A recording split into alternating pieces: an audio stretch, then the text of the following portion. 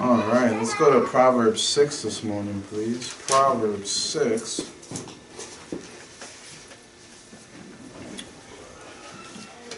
We're going to go to verse 16. The Bible says, These six things doth the Lord hate, yea, seven are an abomination unto him. Let us pray. Heavenly Father, thank you for this morning, Lord, and thank you for this chance for us to come together to learn more about you, Lord, and your word. And Father, I just ask that you fill us with the Holy Ghost to be able to illuminate us with regards to the seven deadly sins.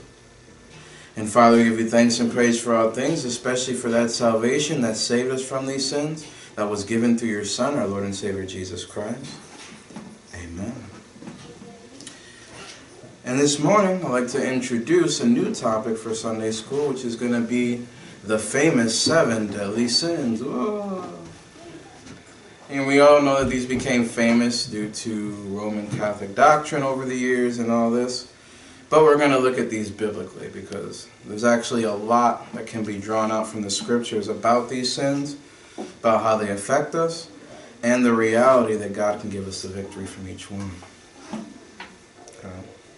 But before we even start that, we need to know what sin is. Okay.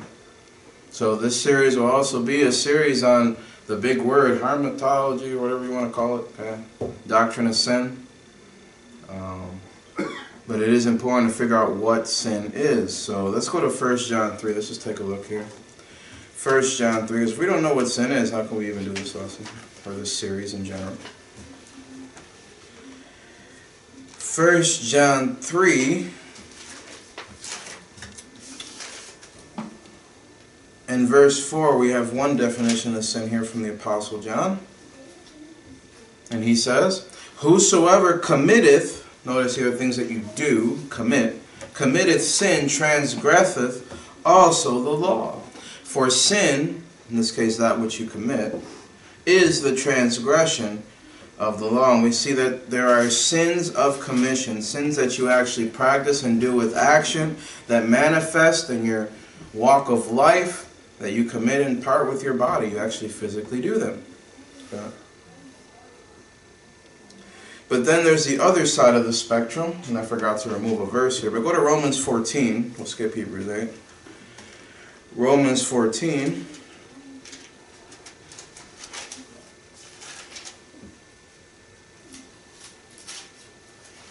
And I have Hebrews 8 there because it talks about God being merciful to people's unrighteousness. So it gives you an idea of where this other version of sin plays, but it actually makes more sense in Spanish. So Romans 14 and verse 23, we'll see something direct about sin here that's different.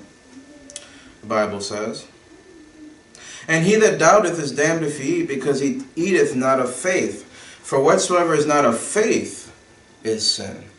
So first we saw that sin was a transgression of the law, and it had to do with something you committed.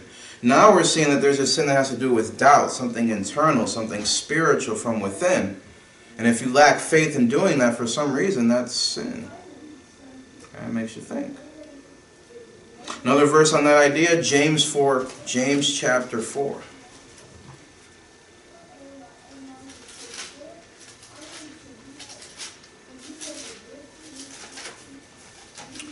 James chapter 4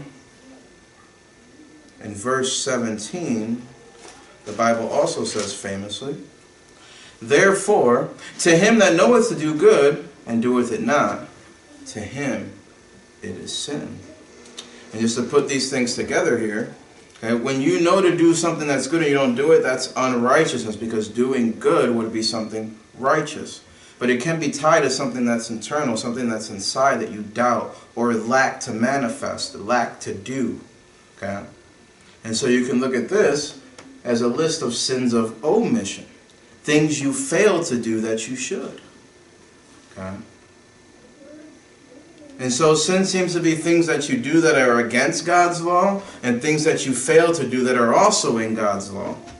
So sin in general is just something that's not in accordance with the law of God, not in accordance with his nature, not in accordance with him. Okay, you see? Oh, we're getting interference here this morning. Let's see. Is that my phone? Nope, it is not. No. And what we're going to notice as we look at these seven deadly sins this morning is that, take a look there, is that basically these sins qualify into one of these two general groups of sin. Either they involve things you commit in your flesh or things that you fail to do in your spirit and your soul. Okay? And during this series, what we're going to do is, is build up. We're going to progress towards all seven, starting with the most fundamental and working our way up. Okay? First thing you need to consider when it comes to types of sin is iniquity. And notice the word in and iniquity. We all know the verse in Psalm 66, verse 18. Okay? Uh, Psalm 66 and verse 18. It's been cited many times by preachers, but it is important. The Bible says, If I regard iniquity, notice where it is, in my heart, so it's within you, the Lord will not hear me. The Lord will not hear me. I'm wondering if something I got. Okay. God will choose not to hear you because you have this spiritual iniquity hiding and residing in your heart. And that's why it's iniquity, it's within you. And that's really where all sin begins. Okay? There's two primary types of uh, deadly sin here that fit in this category, or this type. The first being pride. Pride, what is that? Okay? Well, notice eyes in the middle of pride, just like eyes in the middle of sin. Okay? And the idea is that you focus on yourself more than God. You focus on what you want more than what God wants for your life. And you can look at this as the root of all other sins in general. Okay? The author of sin, his first sin was pride. Okay? He lifted himself up and thought he could actually just be equal with God, which we can't even do that. Okay? And that feeds into the idea of lust. Lust. Where you follow desires that are contrary to those that God has given to you in His Word. Okay? So because you want to focus on yourself, you're going to choose to do those things that you want to do, and they may not be in accordance with what God wants in your life. And because you're regarding that kind of iniquity in your heart, the Lord will choose not to hear you. Be like, you're not being humble, you see. And then the second type of sin is just sin in general. Okay? Notice here there's a progression. Iniquity is spiritual. And we're going to see that sin seems to affect your soul in some way. Go to Isaiah 1. All famous verses, Isaiah 1 verse 18. And I could cite them this morning, but I want to read them, make sure I quote them exactly. So we can see here. Because it is Sunday school after all. Isaiah 1 verse 18. The Lord often tells people, Come now, let us reason together, saith the Lord. Though your sins be as scarlet, they shall be as white as snow. Though they be red like crimson, they shall be as wool. Okay? And it looks like sin has a color and it happens to be red. Okay? But the idea is the Lord, He wants to reason with you and work with you so that He can change your sin situation and become white. Okay? He wants to cleanse your soul, as many of us know. So sin affects and stains your soul. It affects what the character you manifest in your life and what you value. Okay? And so you can place sin in the soulish or psychological realm, if you will. Okay? And there are three deadly sins in particular that kind of manifest through this. The first being greed, which is just the excessive collection of anything. Okay, many of us think money, but really anything in general. Wanting something more than you should. Okay? Not caring about the cost that may result from you trying to obtain this item uh, uh, excessively. For example, there's a very famous uh, Roman leader who accumulated, and we'll talk about him when we get in the series, he accumulated land in a greedy manner. And he was willing to pillage and destroy people and put them in a situation where they had to pay him to fix their uh, fix up their uh, town or city. Okay? That's greed. Greed will drive people to do these things. Okay? And then there's envy. Yeah, it seems like when I stand like this, I got something going on there. But envy, envy is the next one. That's when you seem to desire something that is not yours.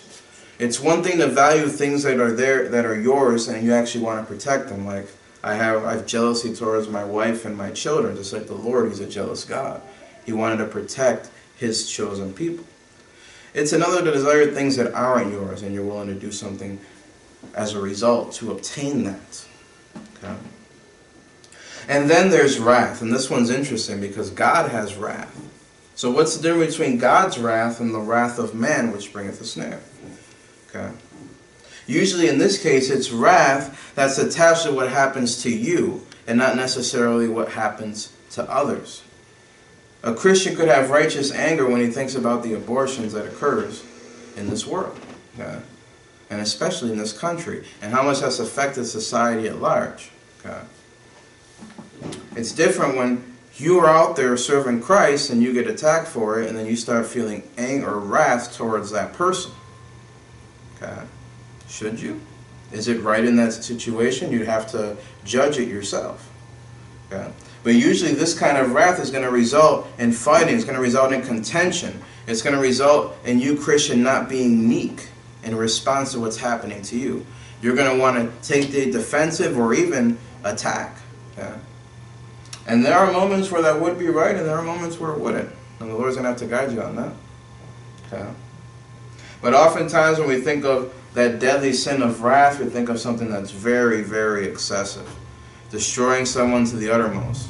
Not just going after somebody specifically for what they did to them, but going after their family and their loved ones as well, as if you have the right to do that. Okay. And then last but not least is transgression, like we saw up there with the definition of sin. Go to Isaiah 53. Isaiah 53. Isaiah 53 and verse 12, another famous verse talking about Jesus. Therefore will I divide him as a portion with the great, and he shall divide the spoil with the strong, because he hath poured out his soul unto death, and he was numbered with the transgressors, and he bare the sin of many and made intercession for the transgressors. And in this case, the Lord Jesus Christ, he was numbered with two other malefactors that were next to him when he was on the cross of Calvary. They were transgressors because they committed specific sins. Okay? In one, I believe in one case he was a thief. I have to check that. But they're malefactors. They had committed sin. They transgressed against the law of God.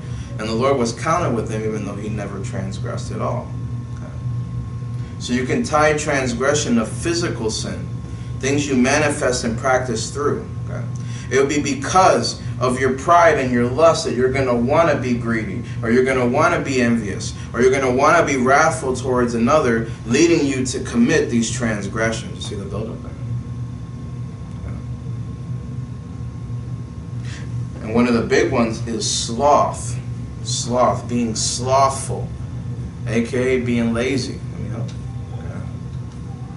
Now, this is one I suffer from, and most people wouldn't believe me, but I'm always trying to find a way to not do what I need to be doing. Okay, now, now thank God he's on my case.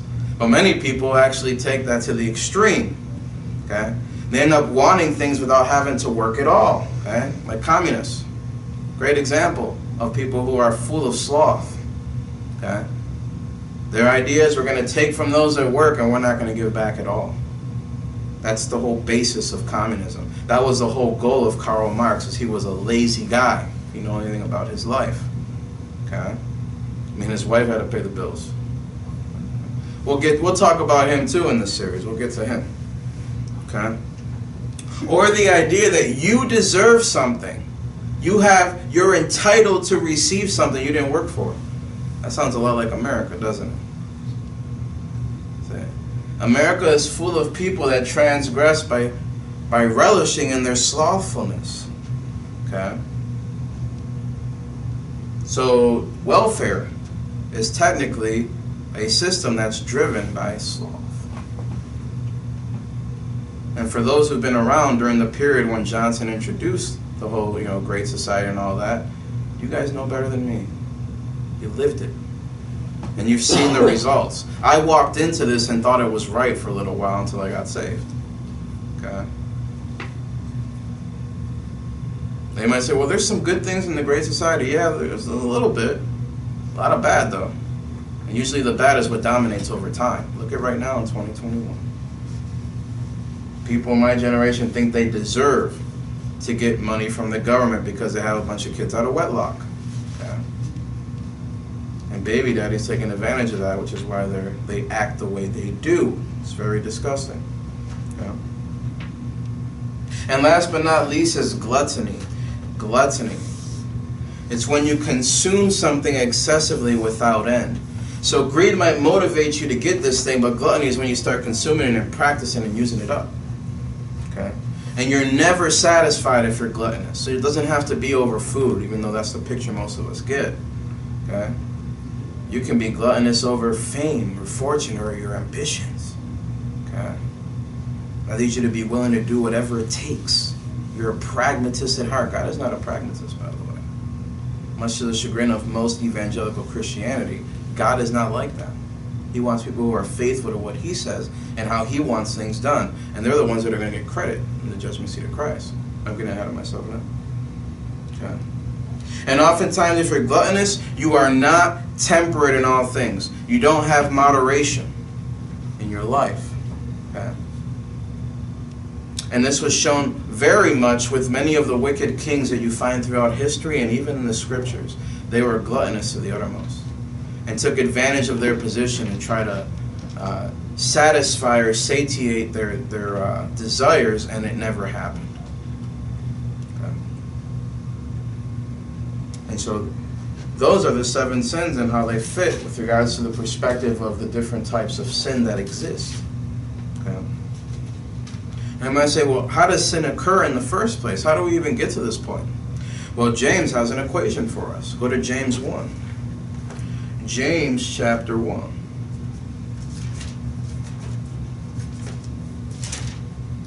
James chapter 1 and verse 14, at least in the Holy Scriptures in English, the King James Bible, you can see this equation here.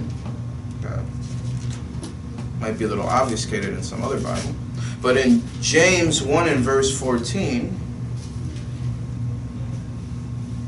the Bible says, but every man is tempted when he is drawn away of his own, notice the pride there, lust, there's lust, and enticed. So that's why everything starts with iniquity.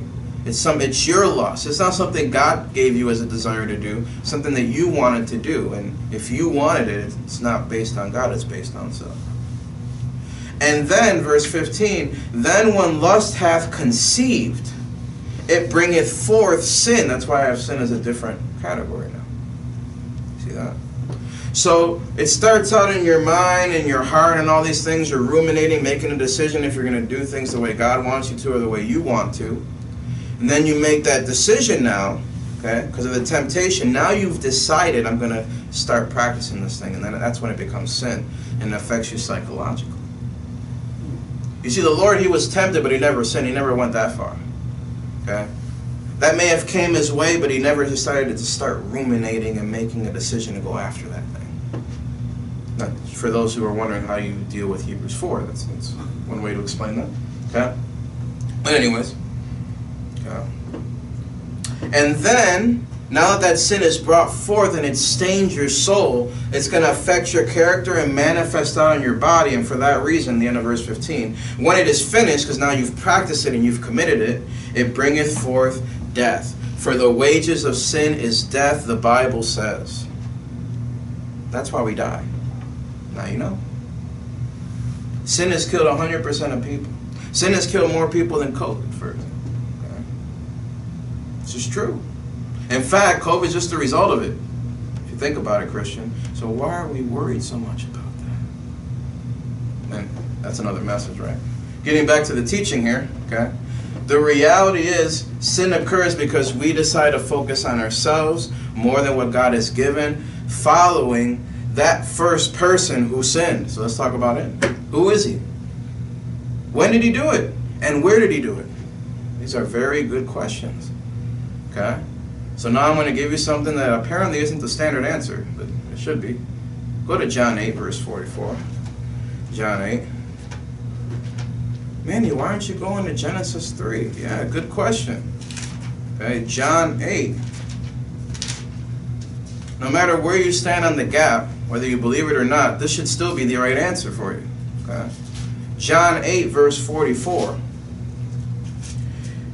God manifests in the flesh says, Ye of your father the devil, and the lusts of your father you will do. He was a murderer from the beginning, and abode not in the truth. See? So who was the first one to commit these types of things and omit his desire to follow God? It was the devil himself. You can see it all in there. He's the one that comes up with these lusts. He focused on himself, and because of that, he was a murderer from the beginning. Him. Okay.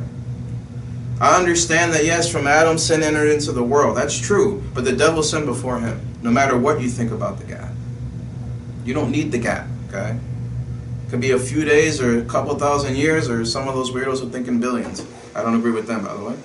Okay, well, that's what I get for standing that way. Yeah. Seems like when I do this, doesn't it? It's when we get interference. Move the mic that way, the whole thing, Like this? see if it does anything. Let's see. Yeah, it seems to help. Okay. Can we still hear me though? Yes. Okay.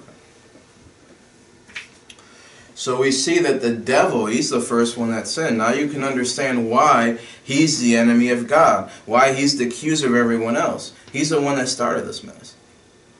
Okay. Now that doesn't mean that Adam didn't make a choice. Nobody's saying that.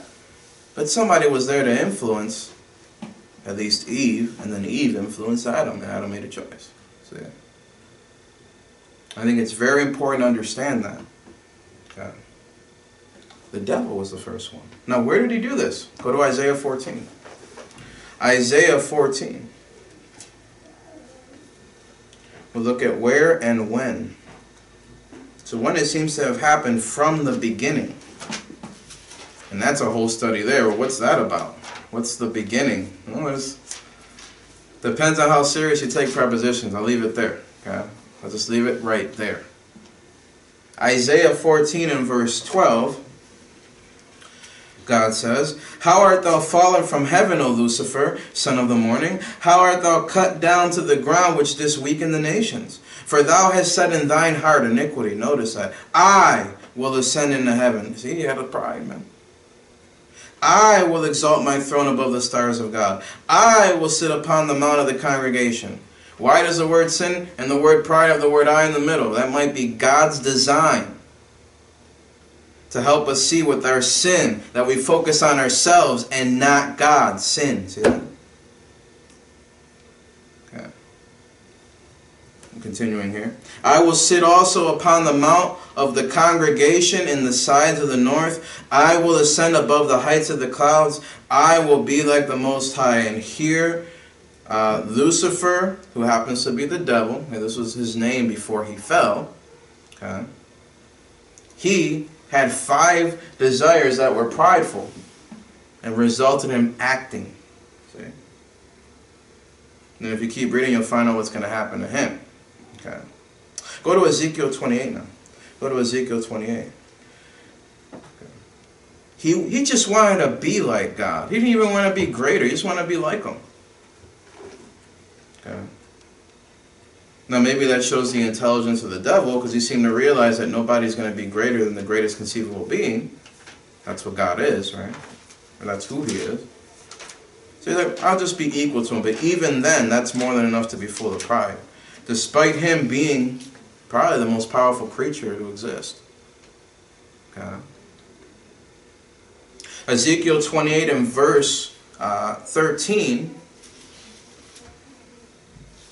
And here we're talking about an individual. It's the king of Tyrus. But when you keep reading, you notice that it looks like the Lord is not just speaking to that king, that physical king, but also the spirit that's influencing him in the background, so to speak. Because in verse 13, talking about this king, it says, Thou hast been in Eden, the garden of God. You're like, how could the king of Tyre have been in the garden of Eden? That's a good question. Okay? Now, there's a way to look at this historically in the sense that Eden is the name of a location that could be attributed to a spot geographically that's near Tyre, okay? But it doesn't completely fit. Okay? The Garden of Eden 100% fits. Okay? There was a garden planted eastward in a place called Eden. That's where Adam and Eve were. Then you keep reading about him having stones and his covering and all this. Go to verse 14. Thou art the anointed cherub that covereth. And now you know. This ain't talking about this human being anymore. It's talking about a cherub. And an anointed cherub. But Christ, if you will. Okay? And people have connected two and two together and notice that Lucifer was this anointed cherub before he fell and became the devil and became a dragon. Let's keep reading here. Okay. Art the anointed cherub that covered. Verse 15. Thou wast perfect in thy ways from the day that thou wast created. So he was a complete being. Okay. He had all his wisdom and knowledge and all this. He wasn't made imperfectly like Allah makes people imperfectly, which is one of the problems with Islam. Okay. Verse 15. Till iniquity was found in thee, I will ascend. See that? And then what did he do? Verse 16. By the multitude of thy merchandise they have filled the midst of thee with violence. And thou hast sinned. You see that? His lust conceived and they brought forth sin. And then the result of that is death. And this is why God says, in response to the five I wills of the devil, Therefore I will cast thee as profane out of the mountain of God, and I will destroy thee, O covering cherub, from the midst of the stones of fire. Thine heart was lifted up because of thy beauty. Thou hast corrupted thy wisdom by reason of thy brightness. I will cast thee to the ground, and I will lay thee before kings that they may behold thee. And if you keep reading, you'll see another I will. Okay? The Lord is so exact that he, he uses will I in the middle there to make sure it's still five of them instead of six. Okay. For you to keep reading verse 18. Okay. And there we see the issue with the devil and why God will judge him fivefold in, in response in a just manner in accordance with his sin. Okay. And so it's the same devil who happens to be the God of this world and he's influencing it. So that'll help us understand why sin continues even through to today. Go to Romans 5. Let's put it all together now. Romans 5 and verse 12.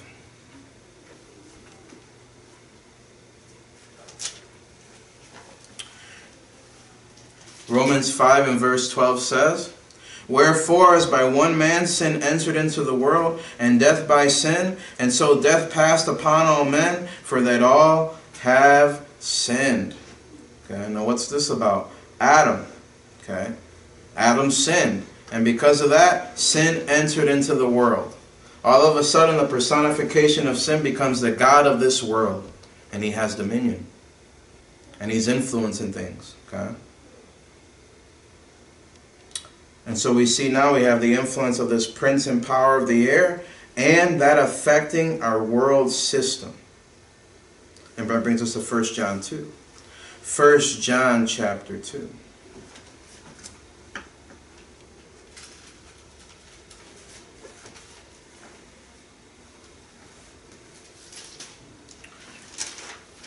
The Apostle John talking about this present evil world.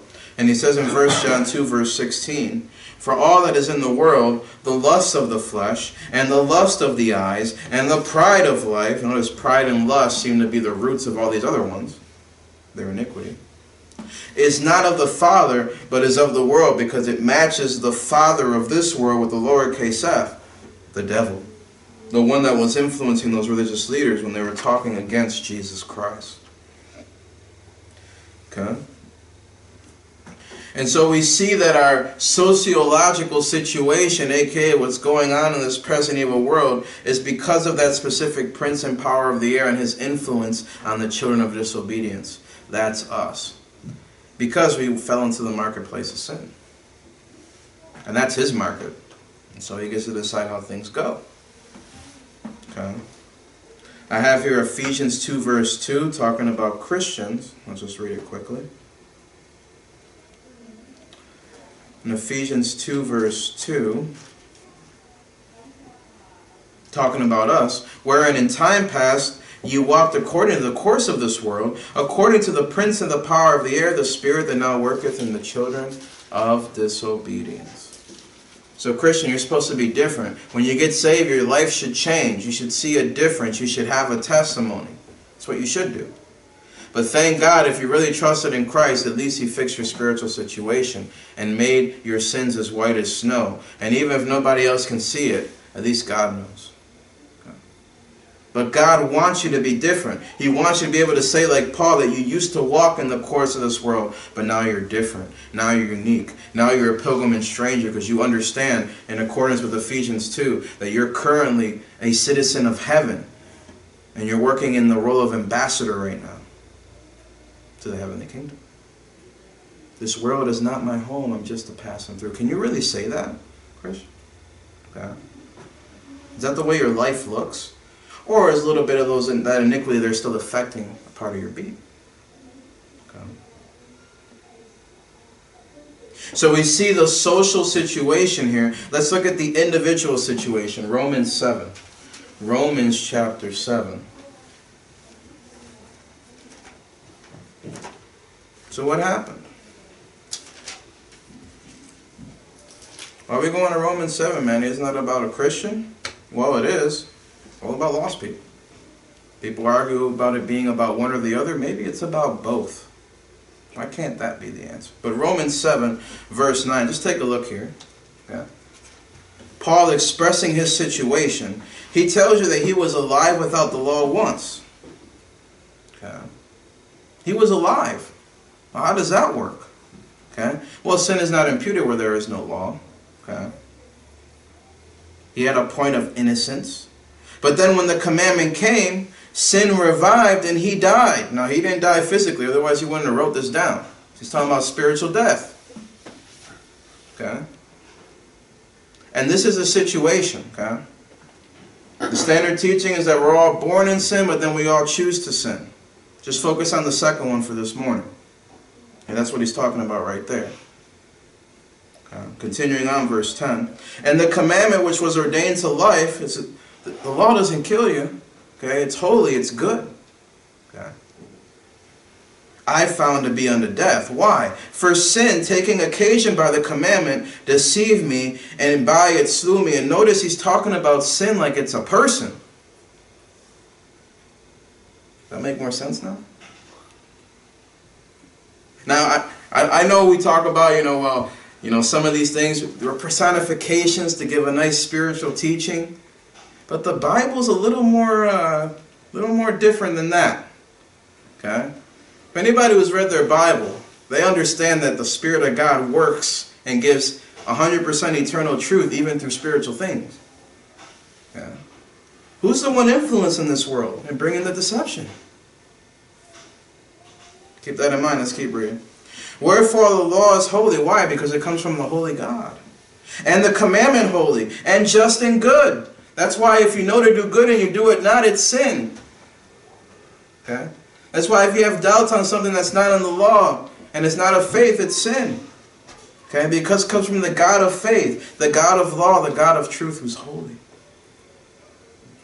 And so, Paul, to make sure you didn't get the wrong idea, verse 13, was then that which is good made death unto me? God forbid. That's not what happened. Okay? But sin, that it might appear sin, working death in me by that which is good, that sin by the commandment might become exceeding sinful. Now, now what is this about? Okay? Yea, hath God said that you can't eat from the trees of the garden? Thou shalt not surely die, the devil said to Eve. And notice he took the word of God, which was good, and used it against Eve to tempt her. And you know what? The devil does that with all of us. And the idea is the devil doesn't necessarily want you to follow him. He just wants you to start thinking for yourself and doing what you want. And once that pride builds up, then your lust entice you, and then you conceive and bring forth sin, and then you die. That's what happened. Had nothing to do with God's law. God's law was right. All you had to do was follow it. You see? Instead of focusing on yourself, focus on God and do His desire. No, you chose to do something else. Okay. So even if the devil, with all his influence, he was there to influence you, doesn't mean it was his fault either. It was ultimately your fault. That's why I can't repent to God for the devil making me sin. That'll never get me saved. Isn't that right? Yeah. But there are some people who've thought of it that way for certain doctrines that some people teach. Yeah. And they kind of got a, a point, even though most of us stress the reality that it's your choice. And that's the key thing. We're the ones. We need to be saved from ourselves, is what we tell people. Okay? God doesn't save us from hell, He saves us from us, making ourselves go to hell. It's a very different thing. We're the problem. And so we see the spiritual situation of the individual today. And if you were to keep reading, you'd read that you were sold under sin. You're in the marketplace of sin. And that's that section there is where people wonder, well, is that about a saved or lost person? Maybe it's both. Okay, it depends on how you look at that. Yeah. Anyways, go to Romans 8 now. Romans 8. So we see the sociological situation of the world almost fits with the sin situation. Sin entered into the world, right? And then we see the spiritual situation of the individual where the devil tries to influence us to follow our pride and our own lusts. Well, what's going on with the actual physical creation? Romans 8, verse 20. Romans 8, verse 20. Look at this now. The consequence of what Adam did and how it affected the actual creation. Because the part that was cursed, if you read it carefully, was the ground not his soul, necessarily. But in Romans 8, verse 20, for the creature was made subject to vanity, not willingly. Okay, so it's, it's not the cow's fault. Okay, the cow's in this situation. It's not what happened. Okay. But by reason of him who hath subjected the same in hope because the creature itself also shall be delivered from the bondage of corruption into the glorious liberty of the children of God. For we know that the whole creation groaneth and travaileth in pain together. Yeah. And we see now the physical situation of the creation is that it's deteriorating. It's not in the state of perfection. Okay? It's getting worse. One reason you physically die, Christian, is just the reality of mortality. Entropy, okay? But everybody spiritually dies, for the wages of sin is death. Well, applies at both levels. Okay? And so we see that sin's literally affected all facets of our being. It's horrible. It's a problem. And it's a problem only God could fix. So what's the solution then? 1 Corinthians 15. 1 Corinthians 15. How do we get out of this mess? For those who think that they could actually work their way to heaven, did you notice all this here? What drives you to do those good works? Have you considered what you're doing them in, which is this body of wicked flesh that you've contaminated with your sin? Many people focus on the good action and don't recognize what's going on within. What's driving them? Is it really a selfless desire to do right? Or is it something a little more sinister? I want people to look at me. There's only one person I know who always did it for the right reason 100% of his life. And that person's in 1 Corinthians 15, verse 55, where the Bible says,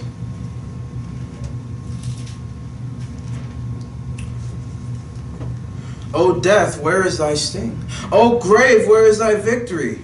The sting of death is sin. See that? So sin is why you die. And the strength of sin is the law because God gave that holy law and he must judge in accordance with it. That's why there's a wage to sin, which is that death. See? But thanks be to that same God who gave that holy law, which giveth us the victory through who? Our Lord Jesus Christ. Flesh is not inherently wicked because he was manifest in flesh. But we stain ours and it affects us. Jesus Christ never sinned. And yet he voluntarily gave his life at Calvary's cross in order for us to have the opportunity to be freed from all sin, and especially these seven deadly sins we're going to look at in this series. Okay? The Lord can give you the victory in each and every one. And so, in this series, we're not just going to bore ourselves by looking at these specific sins in detail, but we're going to see also the grace of God, which abounds and goes over every single sin, and show how Jesus Christ can give us victory over every single one. Because that's actually what's important. Yeah, you should be able to identify them, but more importantly, you should be able to identify and point people to the person who can free them from these things.